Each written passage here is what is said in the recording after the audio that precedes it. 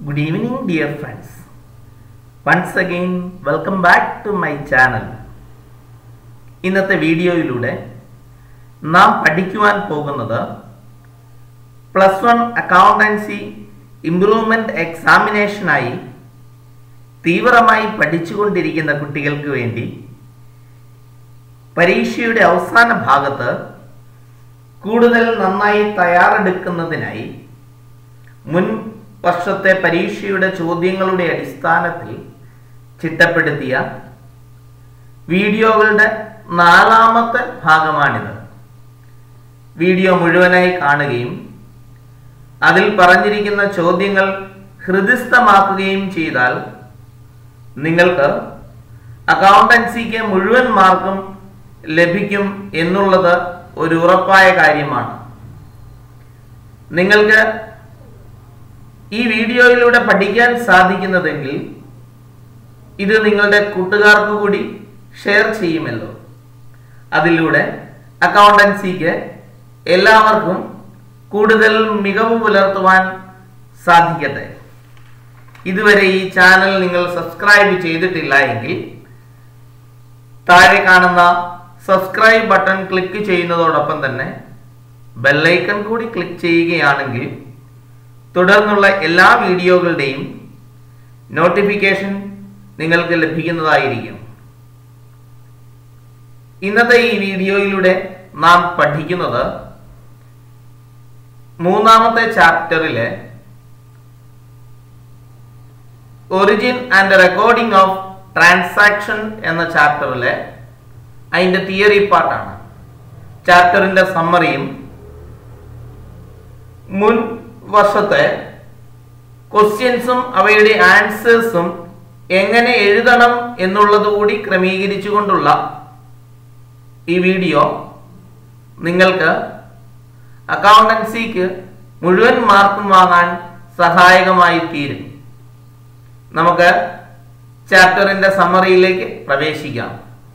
Origin and recording of transaction chapter three അവയുടെ theory പാർട്ടാണ് നാം ഈ വീഡിയോയിലൂടെ കാണുന്നത്. ഇതിന്റെ പ്രോബ്ലം ഭാഗം വീഡിയോ അടുത്ത വീഡിയോയിലൂടെ നിങ്ങൾക്ക് ലഭിക്കുന്നതായിരിക്കും. ചാപ്റ്റർ സമറി സോഴ്സ് ഡോക്യുമെന്റ് എന്താണ് source documents source documents are an evidence of a transactions or animals source document എന്നത് എവിഡൻസ് ആണ്. ഒരു ഇടപാടുകളുടെ തെളിവ് ആണ് ആയിട്ടാണ് ഡോക്യുമെന്റ്സ് ഉപയോഗിക്കുന്നത്. സോഴ്സ് ഡോക്യുമെന്റ്സ് എന്ന് പറയുന്നത് ബിസിനസ്സിൽ നടക്കുന്ന ഓരോ ട്രാൻസാക്ഷന്റെയും തെളിവായി സൂക്ഷിക്കുന്ന രേഖകളെയാണ് സോഴ്സ് ഡോക്യുമെന്റ്സ് എന്ന് പറയുന്നത്. അഥവാ ഉറവിട രേഖകൾ എന്ന് വിശേഷിപ്പിക്കാം.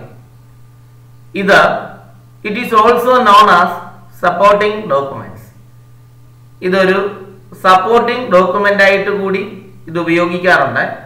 സോഴ്സ് ഡോക്യുമെന്റിന്റെ മറ്റൊരു പേരാണ് സപ്പോർട്ടിംഗ് ഡോക്യുമെന്റ്സ് ബിസിനസ്സിൽ പ്രധാനമായി ഉപയോഗിക്കുന്ന പൊതുവായി ഉപയോഗിക്കുന്ന സോഴ്സ് ഡോക്യുമെന്റുകളുടെ വിവരങ്ങളാണ് താഴെ പറയുന്നത്. ഒന്ന് ക്യാഷ് മെമ്മോ രണ്ട് ഇൻവോയിസ് ഓർ ബില്ല് മൂന്ന് റെസീറ്റ് നാല് പെയിൻ സ്ലിപ്പ് അഞ്ച് ചെക്ക് ആറ് ഡെബിറ്റ് നോട്ട് ഏഴ് ക്രെഡിറ്റ് നോട്ട് ബിസിനസ്സിലെ വ്യത്യസ്തമായ സാഹചര്യങ്ങളിൽ ഉപയോഗിക്കുന്ന വിവിധ തരം സോഴ്സ് ഡോക്യുമെന്റുകളുടെ പേരുകളാണ് താഴെ പറഞ്ഞിരുന്നത്. ഏഴ് തരത്തിലുള്ള സോഴ്സ് ഡോക്യുമെന്റ് വ്യത്യസ്തമായ സാഹചര്യങ്ങളിൽ നാം ഉപയോഗിക്കുന്നുണ്ട്. അടുത്ത ഭാഗത്തേക്ക് നമ്മൾക്ക് പോകാം. അക്കൗണ്ടിങ്ങിന്റെ rules rules of debit and credit approaches of accounting ഈ rules of debit and credit രണ്ട് സമീപന രീതിയിലൂടെ നമ്മൾക്ക് പഠിക്കാവുന്നതാണ്. ഒന്ന് ട്രഡീഷണൽ അപ്രോച്ച് അഥവാ ഇംഗ്ലീഷ് അപ്രോച്ച് ട്രഡീഷണൽ അപ്രോച്ച് അനുസരിച്ച് അക്കൗണ്ടുകളെ മൂന്നായിട്ടാണ് ക്ലാസിഫൈ ചെയ്യുന്നത്. ഒന്ന് പേഴ്സണൽ അക്കൗണ്ട്സ് രണ്ട് റിയൽ അക്കൗണ്ട്സ് മൂന്ന് നോമിനൽ അക്കൗണ്ട്സ് പേഴ്സണൽ അക്കൗണ്ട് എന്നാൽ accounts related with a persons വ്യക്തികളുടെ പേരുമായി ബന്ധപ്പെട്ടിരിക്കുന്ന അക്കൗണ്ടുകളെയാണ് പേഴ്സണൽ അക്കൗണ്ട് എന്ന് വിശേഷിപ്പിക്കുന്നത്. ഉദാഹരണമായി Asha's account. X's account. X എന്ന് പറയുന്ന ഒരു വ്യക്തിയുടെ അക്കൗണ്ടാണ്. ആഷ എന്ന് പറയുന്ന ഒരു വ്യക്തിയുടെ അക്കൗണ്ടാണ്. Thomas account. തോമസ് എന്ന് പറയുന്ന ഒരു വ്യക്തിയുടെ അക്കൗണ്ടാണ്. പിന്നെ ബാങ്ക് എന്ന് പറയുന്നത് ഒരു കൃത്രിമമായി നിർമ്മിക്കപ്പെട്ടിരിക്കുന്ന ഒരു വ്യക്തിയാണ്. അതുകൊണ്ട് ബാങ്ക് ആ പേഴ്സണൽ അക്കൗണ്ടിന്റെ വിഭാഗത്തിലാണ് പെടുത്തുന്നത്. പേഴ്സണൽ അക്കൗണ്ട് എന്ന് പറഞ്ഞാൽ വ്യക്തികളുടെ പേരുമായി ബന്ധപ്പെട്ടിരിക്കുന്ന വ്യക്തികളുമായി ബന്ധപ്പെട്ടിരിക്കുന്ന അക്കൗണ്ടുകളെയാണ് പേഴ്സണൽ അക്കൗണ്ട് എന്ന് പറയുന്നത്. ഉദാഹരണം Asha's account X's account Thomas account bank account എന്നൊക്കെ പറയുന്നത് പേഴ്സണൽ അക്കൗണ്ട് ആണ്. ബാങ്കിന്റെ പേര് ചേർത്ത് പറഞ്ഞാലും അത് പേഴ്സണൽ അക്കൗണ്ട് ആയിട്ട് നമ്മൾക്ക് വരുന്നുണ്ട്. Federal Bank account is a personal account State Bank of India S B account personal account. ഇനിയും എന്താണ് real account? Real accounts are related with account assets. അസറ്റ്സുമായി ബന്ധപ്പെട്ടിരിക്കുന്ന അക്കൗണ്ടുകളെയാണ് അസറ്റുകളുടെ പേരുകൾ പറഞ്ഞാൽ അത് റിയൽ അക്കൗണ്ടിൽ പെടുന്നവയാണ്. അസറ്റുകളുമായി ബന്ധപ്പെട്ട് പറയുന്ന പേരുകളെല്ലാം റിയൽ അക്കൗണ്ടിൽ പെടുന്നവയാണ്. ഉദാഹരണമായി land account plant and machinery account goodwill account cash account stock account അസറ്റുകൾ അവയുടെ പേരുകളോ പറഞ്ഞാൽ അവ റിയൽ അക്കൗണ്ടിൽ പെടുന്നവയായിരിക്കും. ഒന്നും രണ്ടും അക്കൗണ്ടിൽ പെടാത്തവയെല്ലാം നോമിനൽ അക്കൗണ്ട് എന്ന് പറയാവുന്നതാണ്. പേഴ്സണൽ അക്കൗണ്ടിലും റിയൽ അക്കൗണ്ടിലും പെടാത്തവയെല്ലാം ചേർന്ന് നോമിനൽ അക്കൗണ്ട് എന്ന് വിശേഷിപ്പിക്കാവുന്നതാണ്. കുറച്ചുകൂടെ വ്യക്തമായി accounts related with expense losses revenue and gains ചെലവുകളുമായിട്ടോ നഷ്ടങ്ങളുമായിട്ടോ വരുമാനങ്ങളോ നേട്ടങ്ങളോ ആയിട്ട് ബന്ധപ്പെട്ടിരിക്കുന്ന അക്കൗണ്ടുകളെയെല്ലാം നോമിനൽ അക്കൗണ്ട് എന്ന് വിശേഷിപ്പിക്കുന്നു. ഉദാഹരണമായി salary account purchases account wages account sales account commission received account ഇവയെല്ലാം നോമിനൽ അക്കൗണ്ടിന്റെ ലിസ്റ്റിൽ പെടുന്നവയാണ്. അപ്പോൾ ട്രഡീഷണൽ അപ്രോച്ച് അനുസരിച്ച് അക്കൗണ്ടുകളെ മൂന്നായിട്ടാണ് ക്ലാസിഫൈ ചെയ്യുന്നത്. പേഴ്സണൽ അക്കൗണ്ട് എന്നും റിയൽ അക്കൗണ്ട് എന്നും നോമിനൽ അക്കൗണ്ടും എന്ന് വിശേഷിപ്പിക്കാം. രണ്ടാമത്തെ അപ്രോച്ചിലേക്ക് നമ്മൾ കടക്കുകയാണ്. രണ്ടാമത്തെ അപ്രോ ഒന്നാമത്തെ അപ്രോച്ചിന്റെ ഭാഗം. അതിന്റെ റൂൾ രണ്ടാമത്തെ അപ്രോച്ചിലേക്ക് കടക്കുന്നതിന് മുമ്പായി ഒന്നാമത്തെ അപ്രോച്ച് അതായത് ട്രഡീഷണൽ അപ്രോച്ചിന്റെ റൂൾസുകളിലൂടെ നമ്മൾക്ക് ഇപ്പോൾ കാണാവുന്നതാണ്. Rules traditional rules of debit and credit ഇതിന്റെ വേറൊരു പേര് ഗോൾഡൻ റൂൾസ് ഓഫ് അക്കൗണ്ടിങ് എന്ന് വിശേഷിപ്പിക്കാറുണ്ട്. Traditional rules of debit and ക്രെഡിറ്റിനെ golden rules of accounting എന്ന് വിശേഷിപ്പിക്കുന്നു. ട്രഡീഷണൽ റൂൾസ് അനുസരിച്ച് അക്കൗണ്ടുകളെ മൂന്നായിട്ടാണ് തിരിച്ചിരിക്കുന്നത്. Personal accounts real accounts nominal account. Personal അക്കൗണ്ടിന്റെ ഡെബിറ്റ് ആസ്പെക്ട് എന്ന് പറയുന്നത് ഡെബിറ്റ് ഇത് റിസീവർ. ആൻഡ് ക്രെഡിറ്റ് ഇത് ഗിവർ എന്നാണ് പറഞ്ഞിരിക്കുന്നത്. റിസീവ് ചെയ്യുന്നയാളെ ഡെബിറ്റ് ചെയ്യുമെന്നും നൽകുന്നയാളെ ക്രെഡിറ്റ് ചെയ്യുമെന്നാണ് പേഴ്സണൽ അക്കൗണ്ടിന്റെ റൂൾ ഇപ്പൊ പേഴ്സണൽ അക്കൗണ്ട് പറയുന്നു debit the receiver credit the giver real അക്കൗണ്ടിന്റെ റൂൾ പറയുന്നത് ഡെബിറ്റ് വാട്ട് കംസ് ഇൻ ബിസിനസ്സിലേക്ക് എന്തെങ്കിലും വരികയാണെങ്കിൽ അസറ്റുകൾ മറ്റും വരികയാണെങ്കിൽ അതിനെ ഡെബിറ്റ് ചെയ്യണം. അതാണ് debit what comes in credit what goes out അസറ്റോ മറ്റോ പുറത്തേക്ക് പോവുകയാണെങ്കിൽ ബിസിനസ്സിൽ നിന്ന് പുറത്തേക്ക് പോവുകയാണെങ്കിൽ അവയെ ക്രെഡിറ്റ് ചെയ്യണം.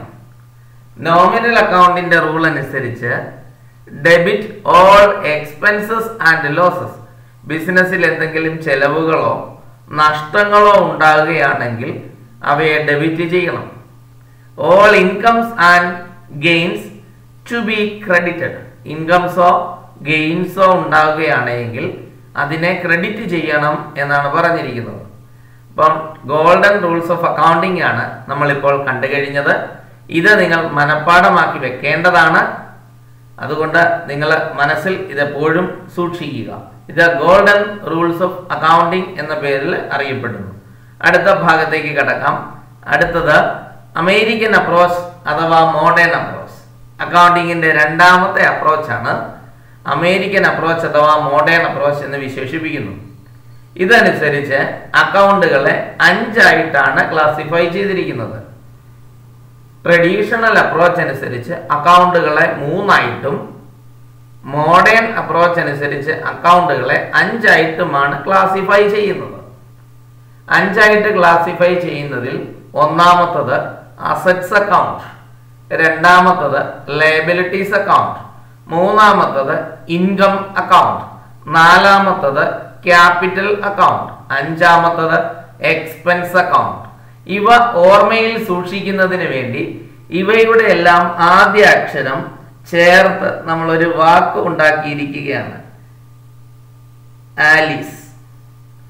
റിലൈസ് എന്നൊക്കെ നിങ്ങൾ വായിക്കാം A L I C Alice എന്ന് നമ്മൾ മനസ്സിൽ സൂക്ഷിച്ചാൽ അമേരിക്കൻ ആലീസ് അമേരിക്കൻ ആലീസ് എന്ന് നമ്മുടെ മനസ്സിൽ സൂക്ഷിച്ചാൽ ഇവ നമ്മളെ ഓർത്തിരിക്കുന്നതിനായിട്ട് സാധിക്കും.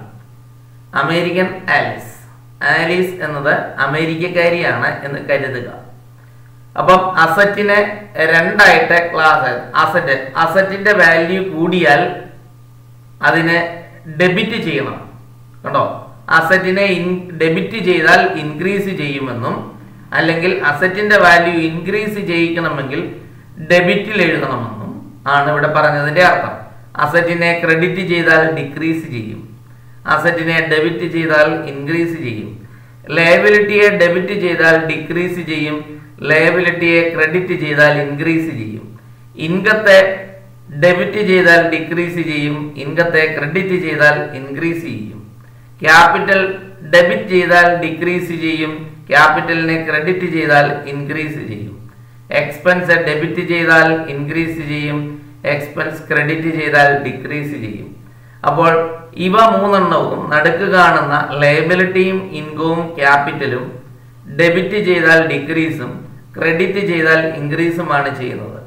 മറ്റു രണ്ടെണ്ണം അസറ്റും എക്സ്പെൻസും ആദ്യവും അവസാനവും കാണുന്ന അസറ്റും എക്സ്പെൻസും ഡെബിറ്റ് ചെയ്താൽ ഇൻക്രീസ് ചെയ്യും ക്രെഡിറ്റ് ചെയ്താൽ ഡിക്രീസ് ചെയ്യും എന്നാണ് നാം പഠിക്കുന്നത്. ഇവ മനഃപ്പാഠമാക്കി വെക്കുവാനായിട്ട് പ്രത്യേകം ശ്രദ്ധിക്കുക. അടുത്ത ഭാഗത്തേക്ക് നമ്മൾ കടക്കുകയാണ്. എന്താണ് journal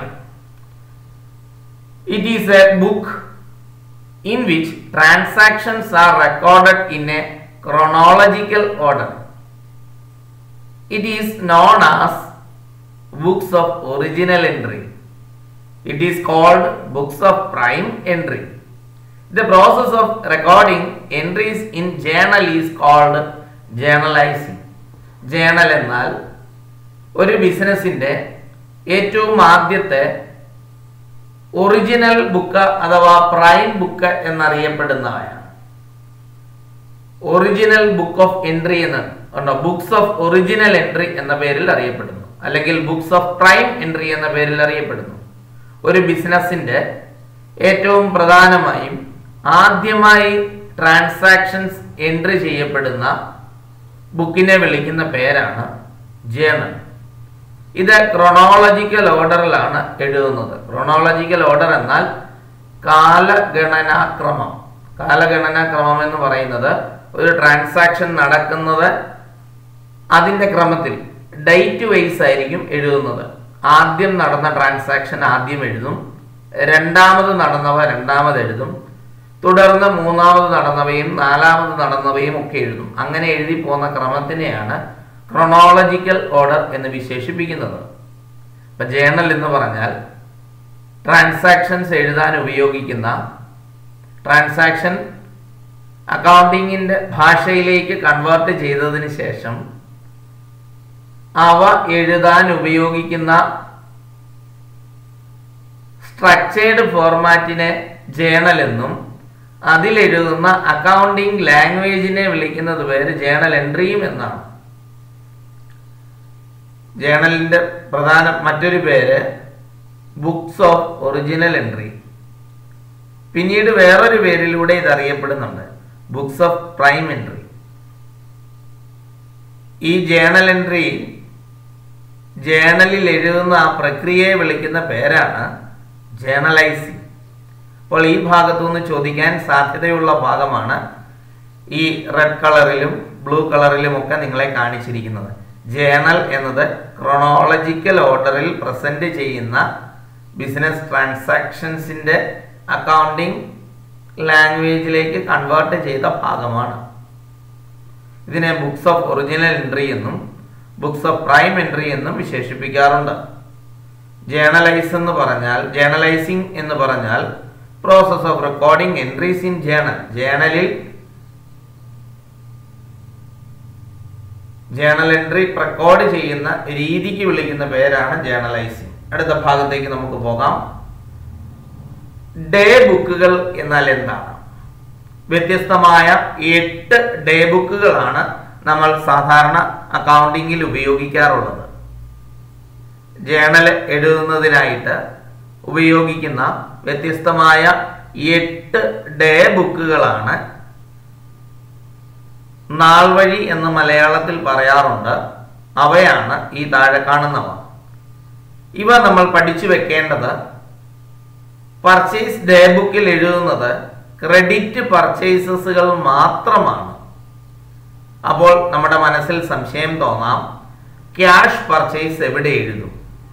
ക്യാഷിന്റെ റെസീറ്റുകളും ക്യാഷിന്റെ പേയ്മെന്റുകളും ക്യാഷ് ബുക്കിൽ മാത്രമേ എഴുതുകയുള്ളൂ. പർച്ചേസ് ഡേ ബുക്കിൽ ക്രെഡിറ്റ് പർച്ചേസസ് മാത്രമേ എഴുതുകയുള്ളൂ. അപ്പൊ അതിനുപയോഗിക്കുന്ന ആ സോഴ്സ് ഡോക്യുമെന്റിന്റെ പേരാണ് ഇൻവോയ്സ് പർച്ചേസ് ഡേ ബുക്കിൽ ഉപയോഗിക്കുന്ന സോഴ്സ് ഡോക്യുമെന്റിന്റെ പേര് ഇൻവോയ്സ് പർച്ചേസ് ഡേ ബുക്കിൽ ക്രെഡിറ്റ് പർച്ചേസ് മാത്രമേ എഴുതുകയുള്ളൂ. രണ്ടാമത് പർച്ചേസ് റിട്ടേൺ ഡേ ബുക്ക് അതിൽ പർച്ചേസ് റിട്ടേൺ മാത്രമേ എഴുതുകയുള്ളൂ. ഉണ്ടോ പർച്ചേസ് റിട്ടേൺസ് ഉള്ളി അതിനുപയോഗിക്കുന്ന സോഴ്സ് ഡോക്യുമെന്റിന്റെ പേര് ഡെബിറ്റ് നോട്ട് ഡെബിറ്റ് നോട്ട് എന്നാണ് പർച്ചേസസ് റിട്ടേൺ ഡേ ബുക്കിൽ ഉപയോഗിക്കുന്ന സോഴ്സ് ഡോക്യുമെന്റിന്റെ പേര്. സെയിൽസ് ഡേ ബുക്ക് അതിൽ ക്രെഡിറ്റ് സെയിൽസ് മാത്രമേ എഴുതുകയുള്ളൂ. അതിനുപയോഗിക്കുന്ന സോഴ്സ് ഡോക്യുമെന്റ് ഇൻവോയ്സ് അപ്പോൾ പർച്ചേസിനും സെയിൽസിനും ഉപയോഗിക്കുന്ന സോഴ്സ് ഡോക്യുമെന്റിന്റെ പേര് ഒന്ന് തന്നെയാണ്. Sale invoice sales return day book അതിൽ എഴുതുന്നത് സെയിൽസ് റിട്ടേൺസ് മാത്രമാണ്. അതിനുപയോഗിക്കുന്ന സോഴ്സ് ഡോക്യുമെന്റിന്റെ പേര് ക്രെഡിറ്റ് നോട്ട് ക്യാഷ് ബുക്കിൽ ഉപയോഗിക്കുന്ന സോഴ്സ് ഡോക്യുമെന്റിന്റെ പേരാണ് വൗച്ചർ ക്യാഷ് ബുക്കിൽ ഉപയോഗിക്കുന്ന സോഴ്സ് ഡോക്യുമെന്റിന്റെ പേര് വൗച്ചർ ക്യാഷ് ബുക്കിൽ എഴുതുന്ന ട്രാൻസാക്ഷൻസ് ക്യാഷ് റെസീറ്റ്സുകളും ക്യാഷിന്റെ വരവുകളും ക്യാഷിന്റെ ചെലവുകളും പേയ്മെന്റ്സും ആണ്. ക്യാഷ് റെസീറ്റ്സും ക്യാഷ് പേയ്മെന്റ്സും മാത്രമേ ക്യാഷ് ബുക്കിൽ എഴുതുക എഴുതാറുള്ളൂ. ബിൽസ് റിസീവബിൾ ബുക്കിൽ ബിൽസ് റിസീവബിളുമായി ബന്ധപ്പെട്ട ഇൻഫർമേഷൻസ് മാത്രമേ എഴുതുകയുള്ളൂ ബിൽസ് റിസീവബിൾ ഒളി. ബിൽസ് പേബിൾ ബുക്കിലോ? ബിൽസ് പേബിൾസ് ഒളി. ഈ ഏഴ് ബുക്കിലും പെടാത്തവ ട്രാൻസാക്ഷൻസ് എഴുതാൻ ഉപയോഗിക്കുന്ന ബുക്കാണ് journal proper. Cannot be recorded in any of the other book. മറ്റ് ബുക്കുകളിൽ എഴുതാൻ സാധിക്കാത്ത ട്രാൻസാക്ഷൻസുകൾ എഴുതാൻ ഉപയോഗിക്കുന്ന ബുക്കാണ് ജേണൽ പ്രോപ്പർ. അപ്പൊ ഇവ നമ്മൾ മനഃപ്പാടമാക്കി വെക്കേണ്ടതാണ്. ഇതിൽ നിന്നും നമ്മൾക്ക് കുറച്ച് ചോദ്യങ്ങൾ ഉണ്ടാവും. എ പാർട്ടിലും ബി പാർട്ടിലും ഒക്കെ നമ്മൾക്ക് കുറച്ച് ചോദ്യങ്ങൾ ലഭിക്കുന്നതാണ്. അതുകൊണ്ട് ഡേ ബുക്കും അവയുടെ പർപ്പസും നമ്മൾ മനസ്സിൽ സൂക്ഷിക്കേണ്ടതാണ് ഹൃദയസ്ഥമാക്കേണ്ടതാണ് അടുത്ത ഭാഗത്തേക്ക് നമ്മൾക്ക് കടക്കാം. എന്താണ് ledger ledger is a book which contains in a summarised and classified form a permanent record of all transactions. It is called books of final entry and it is also known as principal book ledger എന്ന് പറയുന്നത് summarised and classified form of permanent records of all transaction journal വഴി entry ചെയ്യപ്പെട്ട എല്ലാ എൻട്രികളുടെയും summarised ഫോമിനെയാണ് ledger എന്ന് വിശേഷിപ്പിക്കുന്നത്. ഇതിനെ വിളിക്കുന്നത് books of final entry എന്ന് വിശേഷിപ്പിക്കാറുണ്ട്. ഇതിന്റെ മറ്റൊരു പേര് പ്രിൻസിപ്പൽ ബുക്ക് എന്നാണ്. അടുത്ത ഭാഗത്തേക്ക് നമ്മൾ കടക്കുകയാണ്. Difference between journal and ledger. പരീക്ഷയ്ക്ക് ചോദിച്ച് കാണുന്ന ക്വസ്റ്റ്യൻ ആണ് ജേണലും ലെഡ്ജറും തമ്മിലുള്ള വ്യത്യാസം എന്ത് books of prime or original entry എന്ന ജേണലിനെ വിശേഷിപ്പിക്കുമ്പോൾ books of final entry or secondary entry എന്ന് ലെഡ്ജറിനെ വിശേഷിപ്പിക്കാവുന്നതാണ്. Journal prime or original entry ledger books of final entry or secondary entry. രണ്ടാമത് ജേണലിൽ പറയുന്ന transactions entered in to chronological order.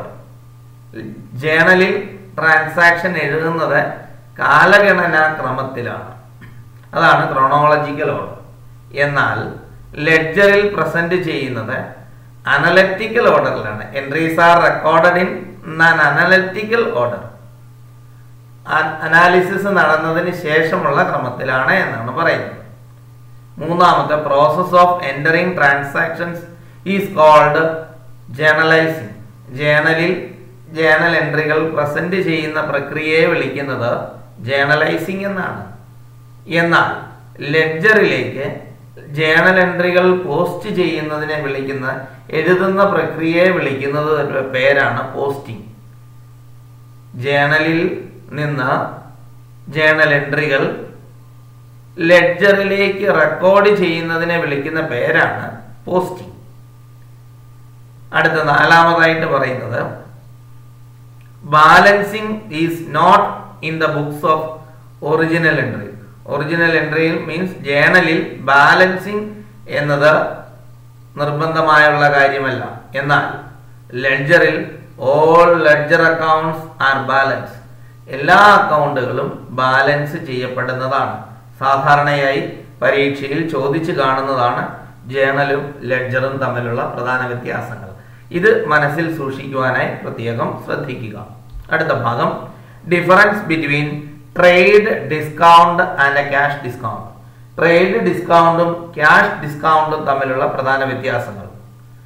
Trade discount it is allowed on sale or purchase of large quantity ഓർത്തിരിക്കാനായിട്ട് ആ black ലെറ്ററിൽ ഉള്ളതുമാണ് it is allowed large quantity എന്ന് ഓർത്താൽ മതി. Large quantity goods purchase ചെയ്യുമ്പോൾ അനുവദിക്കുന്ന ഡിസ്കൗണ്ട് ആണ് ട്രേഡ് ഡിസ്കൗണ്ട് എന്നാൽ cash ഡിസ്കൗണ്ടോ it is allowed prompt or early payment പെട്ടെന്ന് പേയ്മെന്റ് നടത്തുവാൻ ക്യാഷ് പേയ്മെന്റ് നടത്തുവാനായിട്ട് ആളുകളെ പ്രേരിപ്പിക്കുന്നതിന് നൽകുന്ന ഡിസ്കൗണ്ട് ആണ് ക്യാഷ് ഡിസ്കൗണ്ട് അത് ഇവിടെ ഓർത്തിരിക്കാനായിട്ട് it is allowed prompt or early payment ആ ഡാർക്ക് ലെറ്ററിലുള്ള ഭാഗം മാത്രം ഓർത്താലും മതിയാകും it is allowed on both cash and credit transaction trade discount cash ട്രാൻസാക്ഷനിലും credit ട്രാൻസാക്ഷനിലും അനുവദിക്കാറുണ്ട്. എന്നാൽ cash discount it is allowed only for cash transaction cash ട്രാൻസാക്ഷനിൽ മാത്രമേ ക്യാഷ് ഡിസ്കൗണ്ട് അനുവദിക്കുകയുള്ളൂ. The trade discount is not recorded in separately in the books of accounts. Trade discount separate ആയിട്ട് record ചെയ്യത്തില്ല. കാരണം അതിനകത്ത് journal എൻട്രികൾ ഇല്ല. പകരം എമൗണ്ടിൽ കുറച്ച് കാണിക്കുകയാണ് ട്രേഡ് ഡിസ്കൗണ്ട് കാണിക്കുന്നത്. എന്നാൽ ക്യാഷ് ഡിസ്കൗണ്ടിന് സെപ്പറേറ്റ് ജേണൽ എൻട്രികൾ ഉണ്ടാവും. Cash discount is recorded separately in the books of accounts ഇത് തമ്മിലുള്ള ഡിഫറൻസ് നമ്മൾ പഠിച്ച് മനസ്സിൽ സൂക്ഷിക്കേണ്ടതാണ്. എക്സാമിന് ചോദിച്ച് കാണുന്നവയാണ്. അടുത്തത് എന്താണ് contra entry contra entries are the entries which will appear on both sides of cash account both the aspects of the same transaction are appearing in one account is called contra entry. Contra entry എന്ന് പറഞ്ഞാൽ ഒരു അക്കൗണ്ടിന്റെ അതായത് cash അക്കൗണ്ടിന്റെ ഇരു സൈഡിലും ഒരു journal എൻട്രിയുടെ രണ്ട് ആസ്പെക്ട്സും പോസ്റ്റ് ചെയ്യപ്പെടുകയാണെങ്കിൽ അത്തരം എൻട്രികളെ വിളിക്കുന്ന പേരാണ് കോൺട്രാ എൻട്രീസ് പരീക്ഷയ്ക്ക് ചോദിച്ചു കാണുന്നത് പ്രത്യേകമായിട്ടും കോൺട്രാ എൻട്രിയുടെ എക്സാമ്പിൾസ് ആണ് ചോദിച്ചു കാണുന്നത്. എക്സാമ്പിൾസ് എന്ന് പറയുന്നത് cash or cheque deposited in to bank ക്യാഷോ ചെക്കോ ബാങ്കിലേക്ക് ഡിപ്പോസിറ്റ് ചെയ്താൽ അത്തരം ട്രാൻസാക്ഷൻസ് കോൺട്രാ എൻട്രി ആയി മാറും. രണ്ടാമതായി withdrawal from bank for business or office use office ആവശ്യത്തിനോ business ആവശ്യത്തിനോ എന്ന് പറഞ്ഞ് ബാങ്കിൽ നിന്ന് പണം വിഡ്രോ ചെയ്തെങ്കിൽ അതും കോൺട്രാ എൻട്രി ആയി മാറാറുണ്ട്. ഇപ്പൊ കോൺട്രാ എൻട്രിക്ക് ഉദാഹരണം രണ്ടെണ്ണം ഉണ്ട്. Cash deposited in to bank cash withdrawal from bank അടുത്ത ഭാഗത്തേക്ക് നമുക്ക് കടക്കാം. ജേണൽ പ്രോപ്പർ എന്താണ് journal proper it is specialised journals are kept the journal is used only for recording those transactions. That cannot be recorded in other journals. In this case, the journal is known as journal proper or general journal.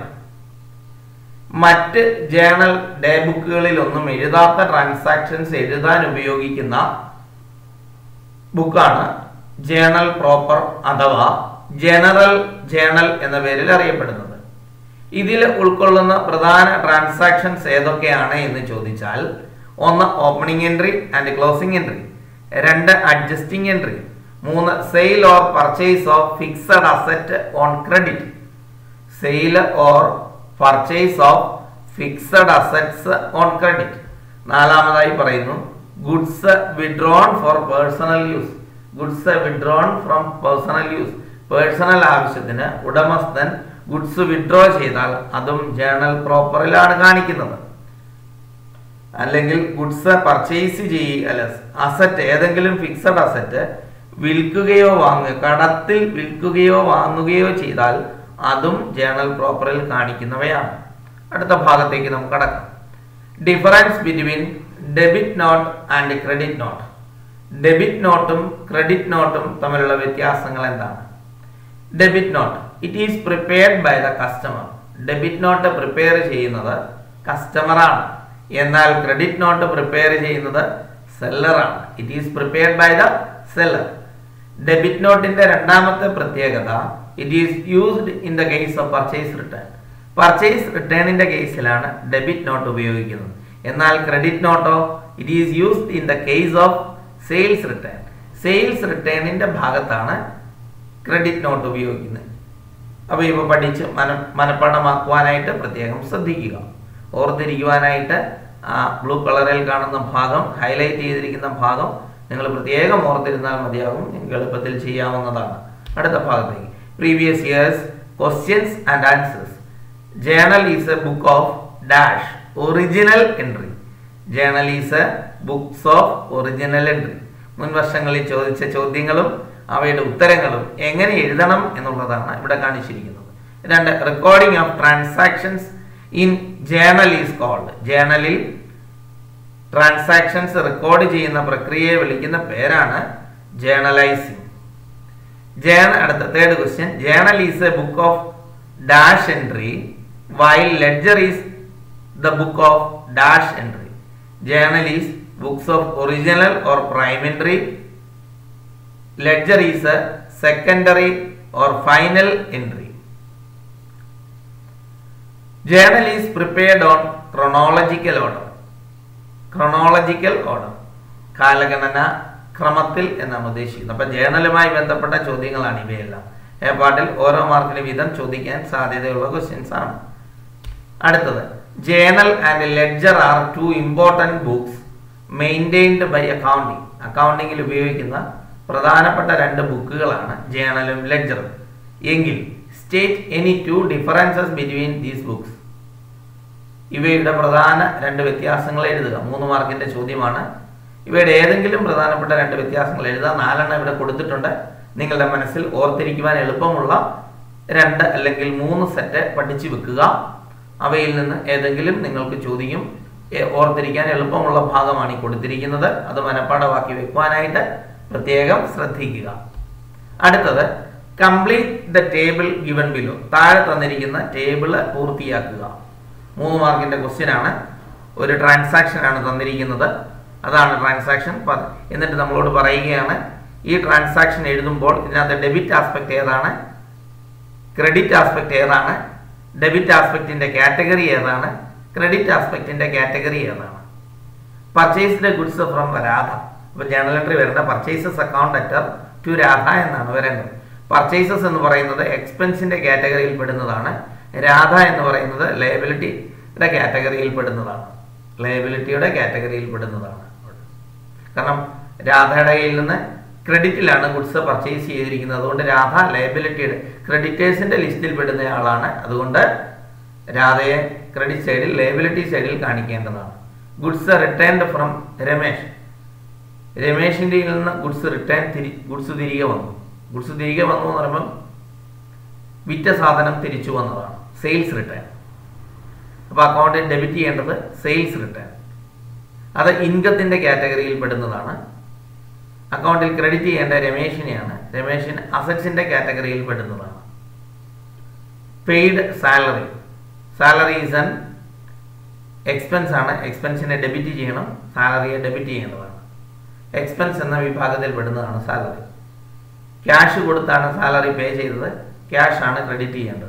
Cash അസറ്റ്സിന്റെ വിഭാഗത്തിൽ പെടുന്നവയാണ് അപ്പോൾ ഈ highlight ചെയ്തിരിക്കുന്ന ഭാഗങ്ങളാണ് question മാർക്കായിട്ട് തന്നിരിക്കുകയായിരുന്നു. അവിടെയാണ് നമ്മൾ fill ചെയ്തത്. Okay അടുത്ത ഭാഗത്തേക്ക് നമുക്ക് കടക്കാം. അടുത്തത് sales journal records are credit sale of അതായത് സെയിൽസ് ജേണലിൽ എത്തരം ട്രാൻസാക്ഷൻസ് ആണ് എന്റർ ചെയ്യുന്നത്. ക്രെഡിറ്റ് സെയിൽസ് ഓഫ് ഗുഡ്സ് കടത്തിൽ വാങ്ങുന്ന ഗുഡ്സിന്റെ ഡീറ്റെയിൽസ് ആണ് എഴുതുന്നത്. വിൽക്കുന്ന ഗുഡ്സിന്റെ ഡീറ്റെയിൽസ് ആണ് എഴുതുന്നത്. Purchase day book contains credit purchase of goods purchase ബുക്കിനകത്ത് കാണുന്ന ക്രെഡിറ്റ് പർച്ചേസസ് ആണ് സെയിൽസ് ബുക്കിനകത്ത് കാണുന്ന സെയിൽസ് ജേണൽ അഥവാ സെയിൽസ് ബുക്ക് സെയിൽസ് ജേണൽ അഥവാ സെയിൽസ് ബുക്കിൽ കാണുന്ന ക്രെഡിറ്റ് സെയിൽ ഓഫ് ഗുഡ്സ് ആണ്. Fixed assets are purchased on credit കടത്തിൽ fixed asset വാങ്ങിയിട്ടുണ്ടെങ്കിൽ അത് ജേണൽ പ്രോപ്പറിലാണ് എഴുതേണ്ടത്. Purchase of furniture from Messrs Thankam Traders is recorded in കേട്ടോ അസറ്റ് പർച്ചേസ് ചെയ്തിരിക്കുകയാണ് തങ്കം ട്രേഡേഴ്സ് എന്ന കടയിൽ നിന്നുമാണ്. ഇത് ക്രെഡിറ്റ് ട്രാൻസാക്ഷൻ ആണ്. അതുകൊണ്ട് ക്രെഡിറ്റിൽ അസറ്റ് പർച്ചേസ് ചെയ്തിരിക്കുകയാണ്. ജേണൽ പ്രോപ്പറിൽ എഴുതേണ്ടതാണ്. Debit note is a source document for recording the dash purchase return debit note purchase റിട്ടേണിലാണ് ഉപയോഗിക്കുന്നത്. Dash is used as a source document for recording sales return sales റിട്ടേണിൽ ഉപയോഗിക്കുന്ന credit നോട്ടാണ് in both aspects of a same transaction appear in the one account ഒരു അക്കൗണ്ടിന്റെ രണ്ട് സൈഡിലും ഒരു journal എൻട്രിയുടെ രണ്ട് ആസ്പെക്റ്റും പ്രത്യക്ഷപ്പെട്ടാൽ അതിനെ വിളിക്കുന്നത് കോൺട്രാ എൻട്രി എന്നാണ്. അടുത്ത പതിനാലാമത്തെ ക്വസ്റ്റ്യനിലേക്ക് നമുക്ക് കടക്കാം.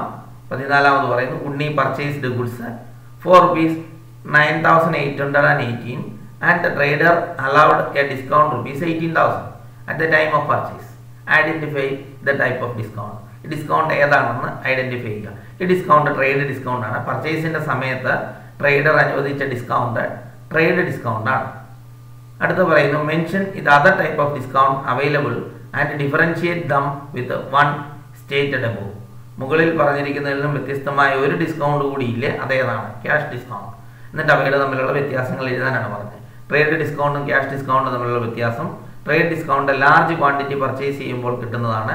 മറ്റേത് പ്രോംറ്റ് പേയ്മെന്റ് നടത്തുന്നതിന് വേണ്ടി അല്ലെങ്കിൽ എയർലി പേയ്മെന്റ് നടത്തുന്നതിന് വേണ്ടി ക്യാഷ് ഡിസ്കൗണ്ട് അനുവദിക്കുന്നു.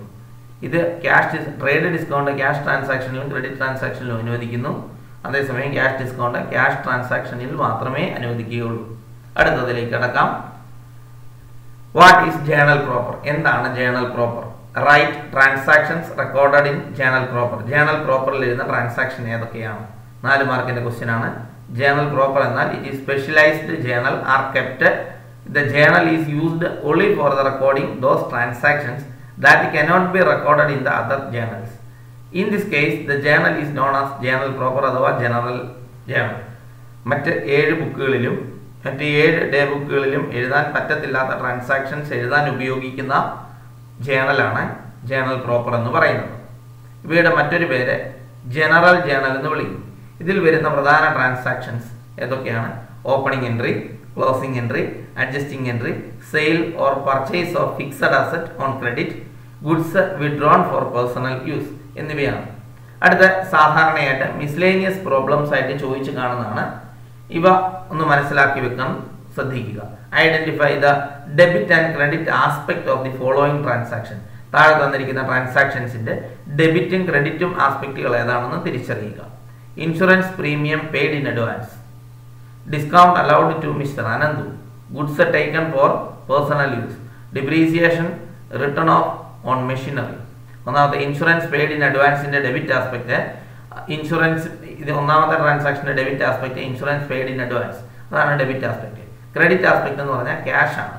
ക്യാഷ് അക്കൗണ്ട് ആണ് ക്രെഡിറ്റ് ട്രാൻസാക്ഷൻ രണ്ടാമത്തെ ട്രാൻസാക്ഷന്റെ debit aspect discount allowed credit Ananthu.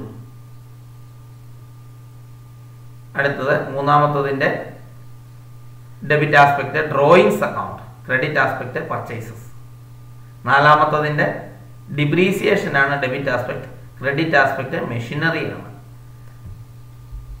അടുത്ത ചോദ്യം. Give narration for the following journal entry താഴെ തന്നിരിക്കുന്ന ജേണൽ എൻട്രിയുടെ നറേഷൻ എഴുതുക. Drawings account at to purchases narration വരുന്നത് goods taken for personal use by the proprietor proprietor അദ്ദേഹത്തിന്റെ പേഴ്സണൽ ആവശ്യത്തിനെടുത്ത ഗുഡ്സിന്റെ ജേണൽ എൻട്രി ആണിത്. അതാണ് എന്റെ നറേഷൻ ആണിത്. രണ്ട് stock in trade to capital stock in trade account at to capital introduced goods in to business ക്യാപിറ്റലിനോടൊപ്പം goods കൂടെ ബിസിനസ്സിലേക്ക് ഇൻട്രൊഡ്യൂസ് ചെയ്തു എന്നാണ് അതിന്റെ മീനിങ് അടുത്തത് Rajitha's account at to bank paid cheque to Rajitha എന്നാണ്. രജിതയെ ഡെബിറ്റ് ചെയ്തു ബാങ്കിനെ ക്രെഡിറ്റ് ചെയ്തത്. ഇപ്പൊ paid to cheque paid cheque to Rajitha. രജിതയ്ക്ക് നമ്മൾ ചെക്ക് കൊടുത്തത് കൊണ്ടാണ് അങ്ങനെ ഒരു ജേണൽ എൻട്രി വന്നത്.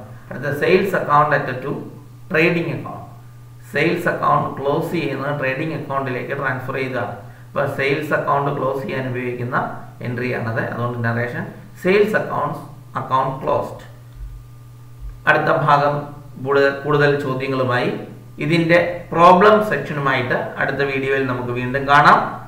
ഈ പറഞ്ഞിരിക്കുന്ന തിയറി ഭാഗങ്ങളെല്ലാം സിസ്റ്റമാറ്റിക് ആയിട്ട് നിങ്ങൾ പഠിക്കുക. വളരെ ലളിതമായിട്ടാണ് നിങ്ങളുടെ മുന്നിൽ അവതരിപ്പിച്ചിരുന്നത് കൂടുതൽ മാർക്ക് വാങ്ങാൻ ഇത് നിങ്ങളെ സഹായിക്കട്ടെ. താങ്ക്